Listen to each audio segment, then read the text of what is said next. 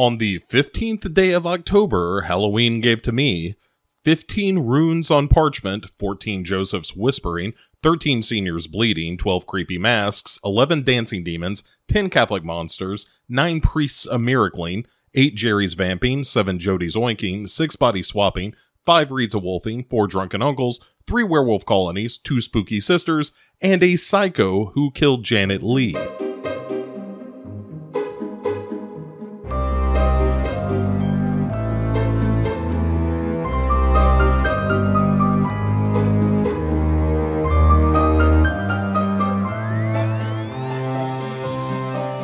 Well, hello there, everyone. Welcome to October 15th, the uh, 15th day of our 31 days of Halloween.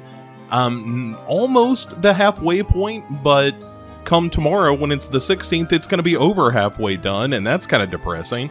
So let's just live here on October 15th for as long as we can. Uh, I'm very excited to be talking to you about this movie. It is a super interesting one to me.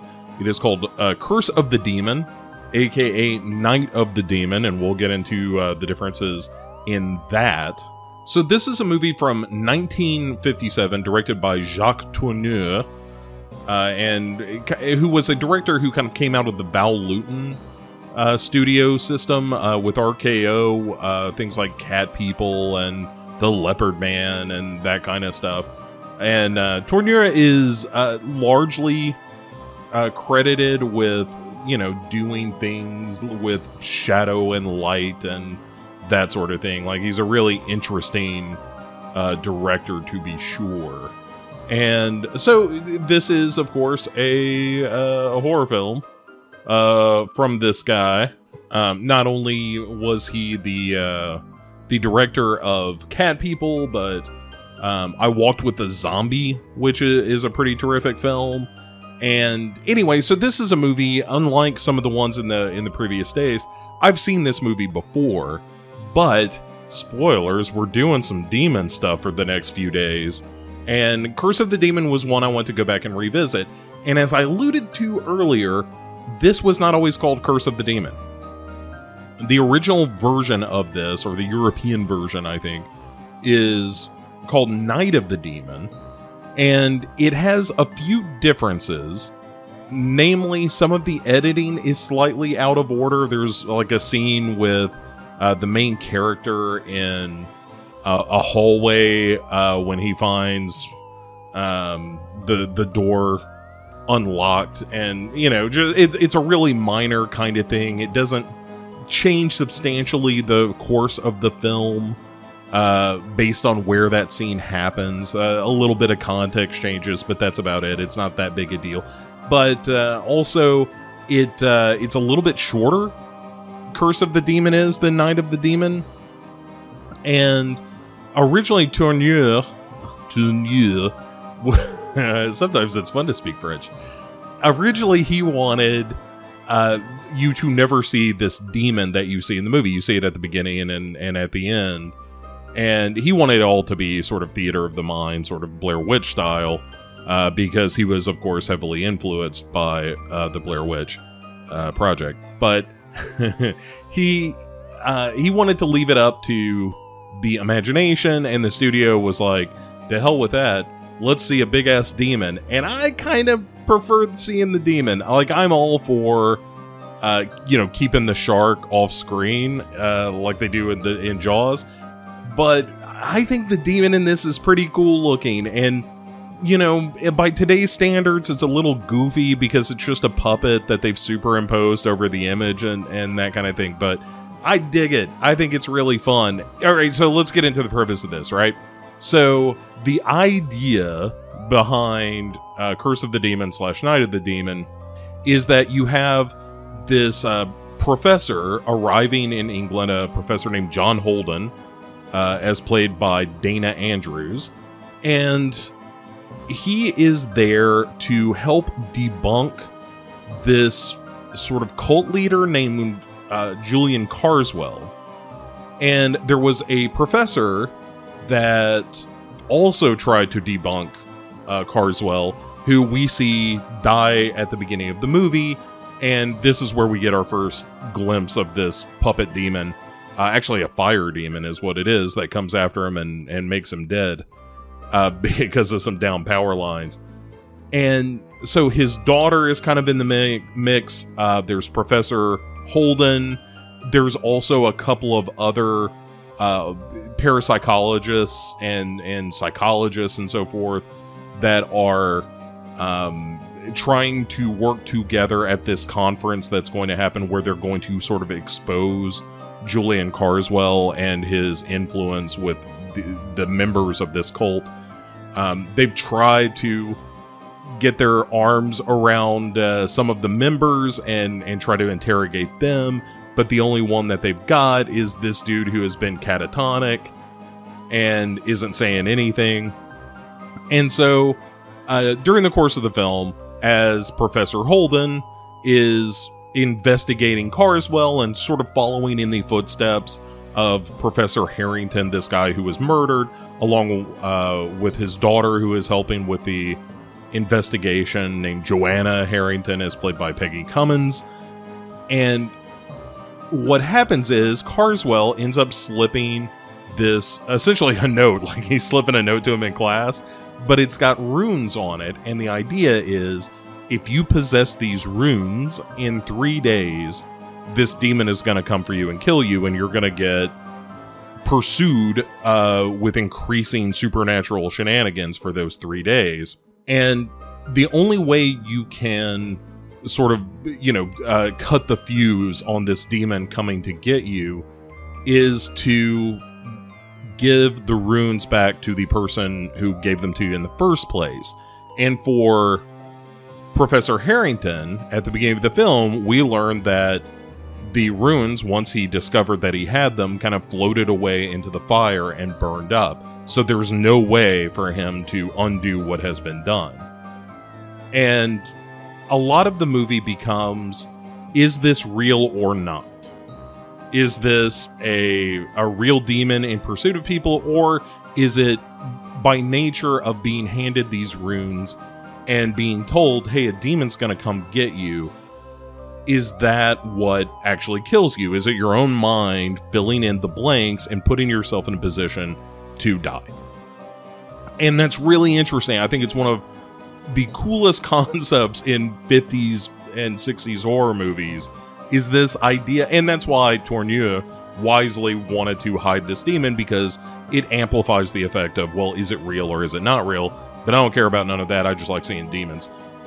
And and, and it and it's really cool. But I also get it. I think it's a great idea to have this is it real, is it not kind of vibe for the duration of the film. And the the other thing that I really dig about this movie is that once Dana Andrews as Professor Holden sort of buys into the idea or or seemingly buys into the idea that hey, I've got this piece of paper that's ultimately going to get me killed there's a great scene on a train where he confronts Karswell on the night that he's supposed to get et by a demon. And there's this cat and mouse with him where uh, like Dana Andrews will be like, "Hey, do you happen to have a cigarette?" And Karswell's like, "Well, yes, I happen to have one right here." And Dana Andrews will take a cigarette and then tries to hand the pack back to him. And Karswell is like, "Oh no, no, no! Uh, you keep it. I've quit smoking just now." And there's all sorts of stuff uh, with a matchbook and his briefcase and all kinds of stuff where Karswell is just doing everything he can to not accept anything from Holden, and Holden is doing everything he can to try to hand him something with this rune hidden in it. And the runes, by the way, like I said, just a scrap of paper with these symbols written upon it. And it's such a terrific scene, and, you know, spoilers obviously for Curse of the Devil, but, you know, this is a movie that is now, what, 64 years old? So you had your chance, people. Uh, you should have seen Curse of the Demon before now. And so Karswell ultimately ends up getting handed his coat by Professor Holden, and he realizes, oh shit, these runes uh, were in the pocket of my coat, and he pulls it out the the piece of paper and it blows away. And so the end of the movie is him chasing after this piece of paper as a train is coming towards him.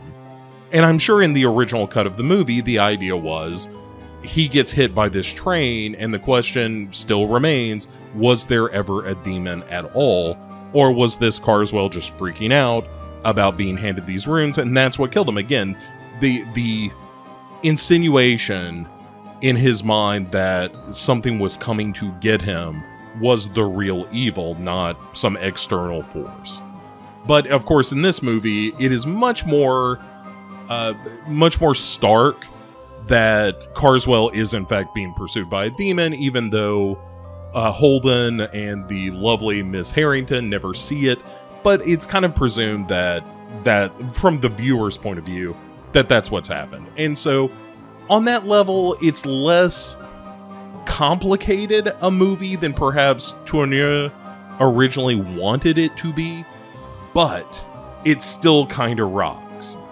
And even with the demon puppet and all that stuff, even if, if that stuff doesn't work for you, it's a really interesting movie and one of the first that I can think of that dealt with things like, oh yes, demonology is real, and here's the head of this cult that's in in some ways kind of Manson like well before Manson, even though he's much more erudite and, and much more of an aristocrat, uh, Karswell is. But it still has that vibe to it that he's running this cult of Satanists or witches. And you don't get into that too much other than Karswell never denies it. And certainly, like I said, there's an implication that he knows some form of witchcraft, that he turns a, a, a house cat into a leopard for a, a short time. But there is also the question in that of is that what really happened in this room, or did Dana Holden just wrestle with a giant stuffed leopard for a second? And it was really a house cat all along, and that's just the way he perceived it. So it does play not fast and loose, but it, it plays with the idea of perception and reality and that stuff is really interesting. It's really well done for a movie of this time. Even though uh, ultimately the film seems to suggest that demons are in fact real, um, there's enough of is it or isn't it that it makes it a really fun ride.